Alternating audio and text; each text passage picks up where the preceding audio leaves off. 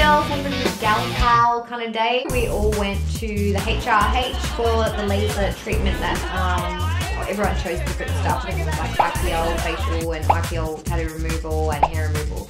They're all chit chatting and um, yeah, just soaking up being around each other before we went on tour. Really. Don't.